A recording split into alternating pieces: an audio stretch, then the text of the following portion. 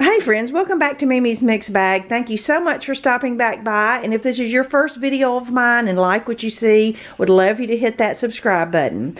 I want to start off by apologizing for the sound of my voice. I sound a whole lot worse than I really am, but I've got some coffee in me and I actually can make some sound with my voice. Today I'm bringing you a last minute Christmas gift or if you don't think you could use it for Christmas, this would make a great Mother's Day gift. Super inexpensive, a lot of bang for your buck. I am going to be using a thrifted canvas. Uh, this is one I've had in my stash. It's a 12 by 12. It's going to work perfect. You could also just get an inexpensive picture frame from Walmart. Any kind of frame will work. All right, I've got a piece of cardboard that matches my frame and a piece of individual scrapbook paper. What I'm going to make is using some Scrabble tiles interlock all of our family names to create a really cute wall decor. I'm sure you've seen these on Pinterest for several years. They some people even do a wall size, but I just wanted to make a small one that I could hang anywhere I wanted to. All right, so let me tell you, the, the star of the show is going to be Scrabble tiles. A couple years ago, I thrifted a big Ziploc baggie of these letter tiles, but let me just tell you that you don't have to have a Scrabble game. You can buy these lettered tiles at Dollar General all the time. You get about 60 for $3 and all the craft stores sell them too. They're called alpha tiles. There's different names. Even some Dollar Trees even carry these little lettered tiles. They shouldn't be too hard to find. Now, your hanger on your wall decor can just be a ribbon, string, but I thought it would be cute to do the beaded hanger. And then I'm going to probably put a little bow accent. Since my background paper is kind of a neutral shiplap. I just went and cut some little pieces of neutral ribbon that I had, cream and white and beige and black, that all coordinate with my background paper. So the first thing I need to do, since I, mine's not just a regular picture frame, I'm going to go ahead and take a staple remover and remove my canvas off of my frame, and I'm going to paint it black. Let that dry. All right, now I'm going to work on my piece of cardboard and my background paper.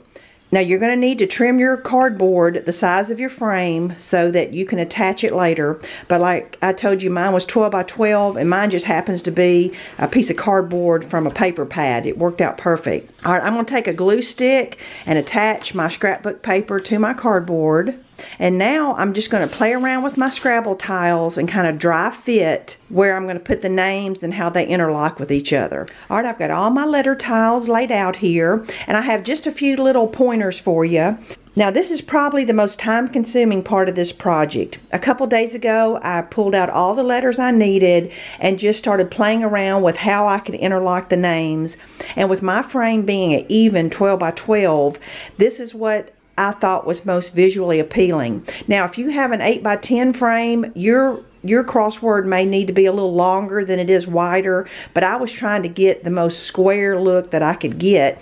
And and it really helped me having this shiplap lines in this background paper. So I would encourage you to find something with plaid that's got some crisscross lines in it where you it will help you keep things lined up and straight before when you start gluing them. You'll see that this my name up here, the Mimi, really wouldn't interlock with anything. So I just put it at the top, just like a typical crossword puzzle would do. Sometimes you just have an oddball word that won't interlock. So keep that in mind if you if you have you know a family name like that. But I really like this shape. So what I'm going to do now is just carefully glue one tile at a time trying to keep it as straight as possible using the lines of my scrapbook paper as my guide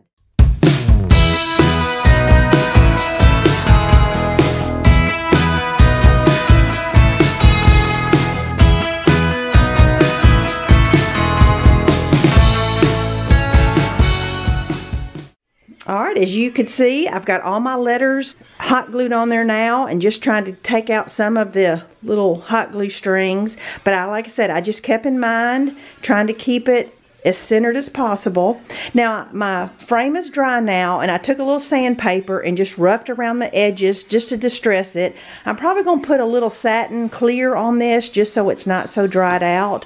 But I'm going to flip my frame over and my board and I'm going to staple it on the back. That's why it's so important that your cardboard is already cut perfectly for your size frame. So I'm going to take a heavy duty stapler and staple all around the back.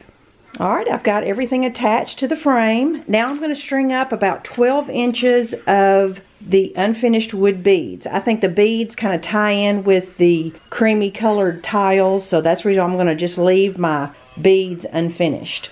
And I'll staple the wire to the back of the frame. All right, my last little embellishment, I'm going to put a little bow on the side of it, and I'm going to do a scrappy bow is what I call it, because all you need is about 10 pieces of ribbon and anything goes as long as it coordinates with your paper. So I've got two of five different kind and there's no right or wrong. I'm just going to crisscross them like this and just layer it up.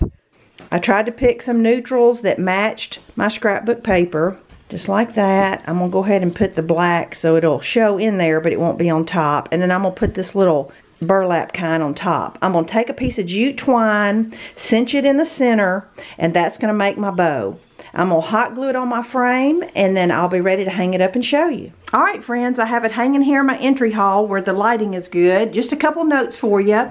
If you decide to do the beaded hanger, always use an even number of beads so that it will split in the center when you get ready to hang it. Now, with these tiles being so neutral, no matter where you get them, you could do this to fit anyone's decor. You could use a gold picture frame, a more glamorous type of scrapbook paper. The bow is strictly optional. I just wanted the kind of rustic farmhouse look but I just couldn't be more pleased with it. This is such an adorable gift for maybe $5 and an hour's worth of work. And I think any mother or grandmother would love this for grandkids names or whatever you can come up with. So I hope you enjoyed this project. Keep this in mind even for Mother's Day in a few months. Hope you enjoyed it. I'll be back in a few days. Bye-bye.